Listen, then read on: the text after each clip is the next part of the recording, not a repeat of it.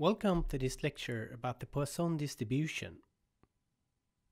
In this video, we'll have a look at the basics of the Poisson distribution with some simple examples. We'll then see how the shape of the distribution changes as a function of the mean. Finally, we'll compare the Poisson distribution with the normal distribution. The Poisson distribution is a discrete distribution that can be used to calculate the probability of a given number of independent events occurring in a fixed time interval or a defined space. What you see here is an example of a Poisson distribution with a mean of 5. The Poisson distribution is a discrete distribution since k can only take a discrete set of values. Note that I only plotted the bars for which k goes from 0 to 10, but the distribution continues to infinity. However, the heights of these bars are approximately equal to zero, since they are far away from the mean. Note that the sum of all the probabilities, or the heights of all the bars, is equal to 1. Suppose that this distribution represents the number of car accidents in a certain city per year. K therefore represents the number of car accidents in a city during one year. Since the mean of this distribution is set to 5, we know that on average about 5 car accidents happen in a city each year. Suppose we like to know the probability that 2 car accidents happen in a city during one year. Since the height of this bar is approximately 0.08, we know that the probability that exactly 2 car accidents will happen during one year is about 8%. To get a more exact value, we can use the following probability mass function, where lambda is the average number of events, and E is the Euler's number that is approximately equal to 2.718. And k takes whole values between 0 and positive infinity. And this is the factorial of k. Let's use this function to calculate the height of this bar that represents the probability that k is equal to 2. We therefore set k equal to 2 and since the mean of this distribution is 5, we set lambda to 5. If we do the calculations, we see that the probability is equal to about 8.4%. This value corresponds to the height of this bar. The probability that exactly two car accidents happen in a city during one year is therefore about 8.4%. Let's calculate the probability that exactly 6 car accidents happen in a city during one year. We therefore change the value of k from 2 to 6. After some calculations, we see that the probability of observing exactly 6 car accidents during one year is approximately equal to 14.6%. This value corresponds to the height of this bar. Here are other examples that can be modeled by a Poisson process. The number of new cancer patients per year. The number of lymph nodes with metastatic cancer cells the number of plants of a given species found in a certain area, and the number of phone calls per day. Note that the counts can be obtained based on a certain area, as well as within a certain time frame. We will here have a closer look at an example of metastatic lymph nodes. When cancer cells from the primary tumor start to spread to other parts of the body, it is called metastasis. Metastatic lymph nodes are lymph nodes that contain cancer cells that have spread from the primary tumor. In this example, one has detected two metastatic lymph nodes. The human body contains about 500 lymph nodes. The number of metastatic lymph nodes is an important prognostic factor as it is associated with the progression of the cancer disease.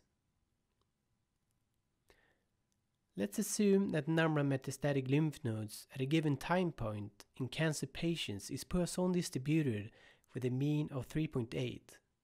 This means that on average the cancer patients have 3.8 metastatic lymph nodes. Since we know that the mean is equal to 3.8, we can draw the following distribution if we calculate the probabilities for a range of different values of k. For example, we can calculate the probability of finding 4 metastatic lymph nodes in a cancer patient by setting k equal to 4 and lambda to 3.8.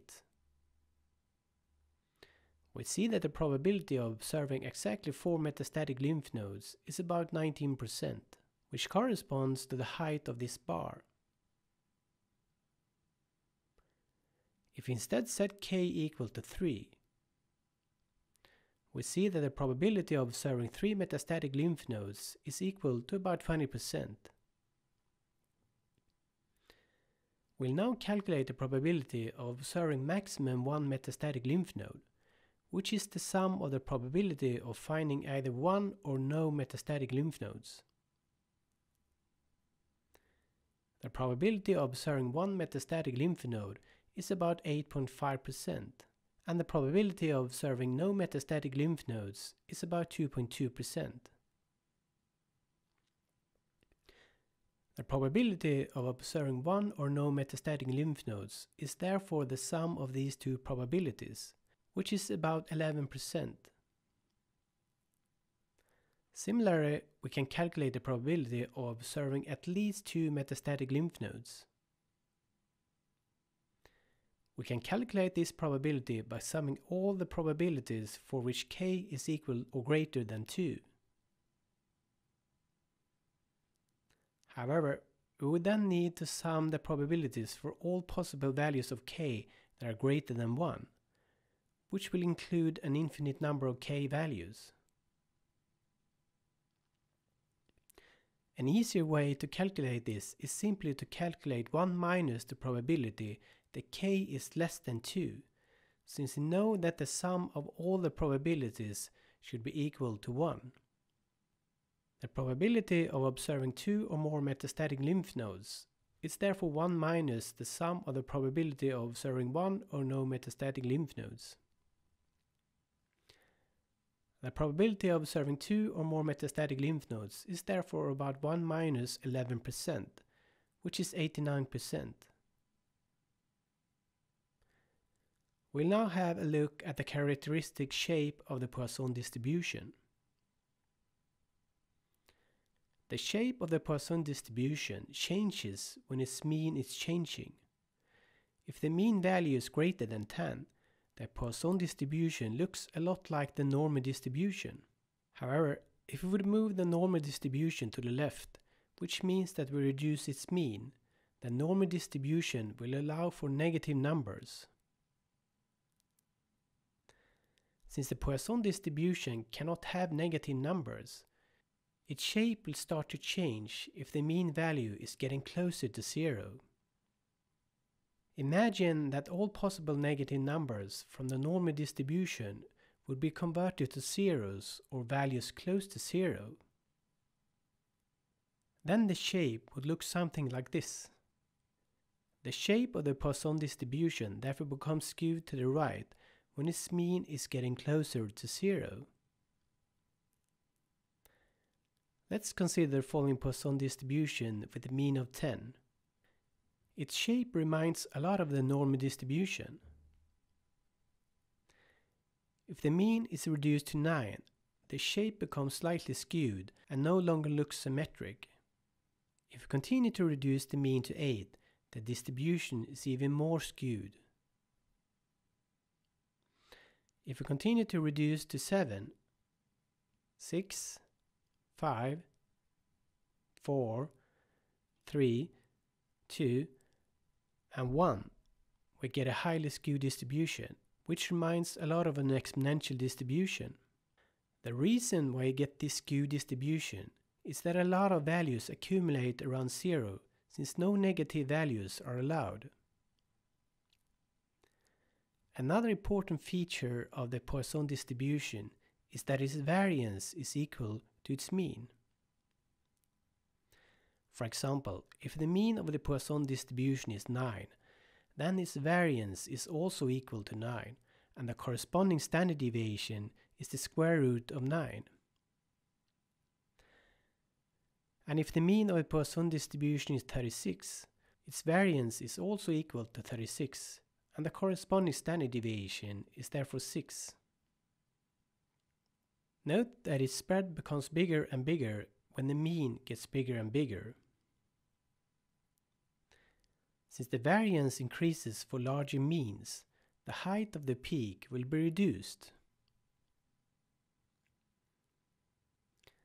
Let's summarize this lecture by comparing the Poisson distribution to the normal distribution. Poisson distribution is usually used to model count data, which can only take whole values, whereas the normal distribution is usually used to model continuous data. The Poisson distribution is a discrete distribution defined from 0 to positive infinity. Whereas the normal distribution is continuous, they may also include negative numbers. The shape of the Poisson distribution is dependent on its mean. Whereas the normal distribution is always symmetric and bell-shaped. However, for large mean values, the Poisson distribution is also symmetric since most values are far away from zero. The variance and the mean is the same parameter in the Poisson distribution since its mean is equal to its variance. In contrast, the mean and the variance are modeled by two independent parameters in the normal distribution. Since count data tend to spread more for larger values and cannot be negative, the Poisson distribution is more appropriate than the normal distribution for modeling this type of data. In the next lecture, we'll have a look at how the Poisson distribution is used in Poisson regression.